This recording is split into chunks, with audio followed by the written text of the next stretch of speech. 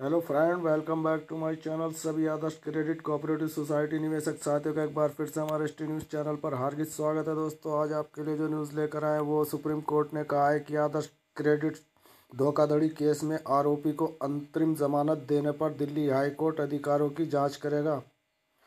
Justice A M Sapre और U U Lalit की पीठ सोमवार को मोदी से बताने को कहा कि जमानत अर्जी या अर्जी दायर किए बिना दिल्ली हाईकोर्ट का उन्हें जमानत देना सही था। यह आरोपी के खिलाफ हरियाणा के गुरुग्राम के अभियोजन शुरू किया गया था। तो क्या दिल्ली हाईकोर्ट आरोपी की याचिका पर विचार करने के सक्षम था?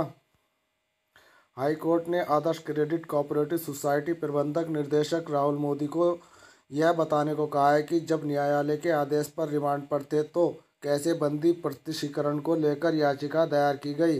मोदी को गंभीर धोखाधड़ी, जाँच कार्यालय एसएफआईओ ने कथित तौर पर 200 करोड़ रुपए की धोखाधड़ी को लेकर गिरफ़्तार किया था। मामले की अगली सुनवाई 21 जनवरी को होगी।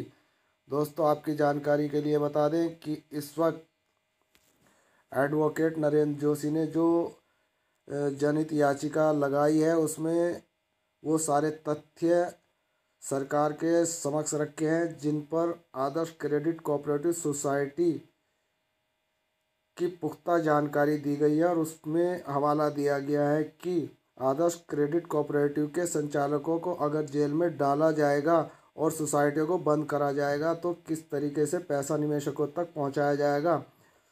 उन्होंने कोशिश की है कि आदर्श क्रेडिट कोऑपरेटिव को दोबारा चालू किया जाए और कंपनी ने जिन को ऋण दिया है, उनसे ऋण लेकर निवेशकों को पैसा दिया जा सकता है। सोसाइटी के पास देनदारी से चार गुना से अधिक प्रॉपर्टी और बैंक बैलेंस और न जाने कितनी ऐसे सूत्र हैं जिनके आधार पर निवेशकों को ब्याज सहित पैसा देने का पूरा प्रावधान किया जा सकता है।